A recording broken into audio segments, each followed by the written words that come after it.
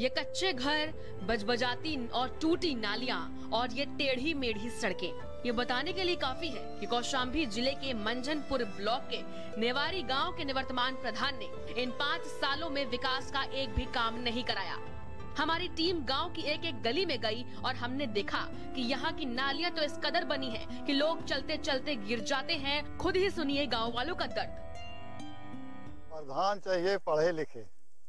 विकास हो बढ़िया यहाँ विकास कोई नहीं है। अब बीज रानी प्रधान रही और प्रधानी करता दूसरा को पढ़े लिखे का अक्षर नहीं। जब इनका यहाँ एक दिन हुई। सब यहाँ खाने वाले हैं। नाली खरिंजा का कुछ हुआ? नहीं हुआ। जो इस टाइम वो मतलब इस पिछले पंचवर्षीय प्रधान चुनाव जीते थे वो ब्रिजलाल प्रधान थे मगर उनकी प्रधानी कोई दूसरा कर रहा था। उन्होंने कोई काम नहीं किया है, सिर्फ़ अपना विकास किया है, जनता का विकास नहीं किया है, न कॉलोनियाँ गरीबों को मिले जो अपात्र लोग थे, उनको कॉलोनियाँ मिली हैं। हमारे जो गाँव का खलिंजा है, नाली है, सब एकदम ध्वस्त है और अशिक्षित प्रधान होने की वजह से कोई अच्छा काम नहीं हो पाया है। तो अब इस बार शिक्षा शिक्षित प्रधान बनेगा तो विकास करेगा गाँव का।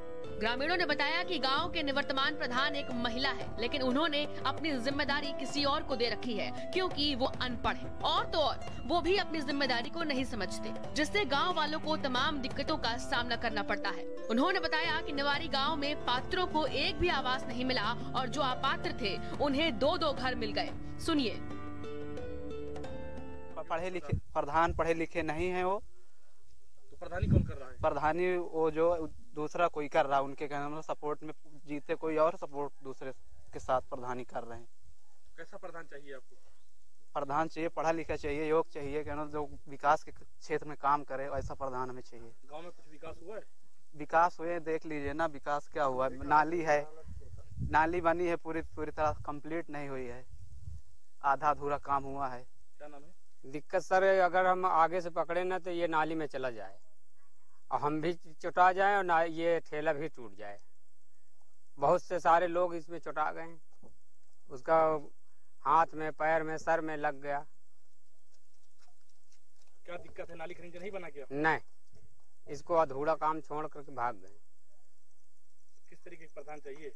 अरे सर हम तो चाहते हैं कि ये गाँव बढ़िया पूरी रोड झकास रहे, उसमें आदमी आता जाता रहे, अंधार लंगड़ा लूला इसमें आते जाते हैं, फिर भी इसमें गिरते हैं। अब लंगड़े लूड़ी जब नाली नहीं सह रहेगी तो गिरेगी ज़रूर।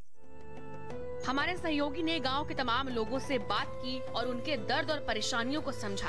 आपको बता दें कि गाँव के लोग ये बदहाली की ज़िंदगी जी जी कर तंग आ गए हैं और गाँव में अब कुछ बदलाव चाहते हैं। गाँव में ना तो सड़कें हैं, ना नालियाँ, ना आवास और पीने का पानी तक की व्यवस्था नहीं है। लगातार सरकार गाँव के विकास कार्यों को लेकर के पैसे दे रही है, लेकिन गाँव में विकास कार्य हुआ या ग्राम प्रधान ने अपना खुद का विकास किया है? आप देख सकते हैं कि किस तरह से यहाँ पे जो नाली है खरिंजा है, कि पत्थर लगाए गए हैं, कि आने जाने वाले जो रागीर हैं, वो किसी तरीके से बच, बचा के निकलते हैं। यहाँ पे जो पत्थर लगे हैं नाली के ऊपर, वो भी टूट फूट गए हैं, जिससे यहाँ पे बाइक भी कादे से निकलने की जगह नहीं है।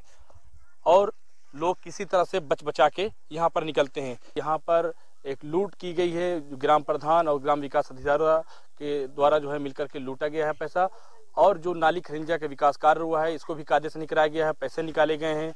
जो यहाँ पे कॉलोनियाँ लोगों को मिली हैं, वो पात्रों को न मिलकर के अपात्रों को कॉलोनियाँ दी गई हैं।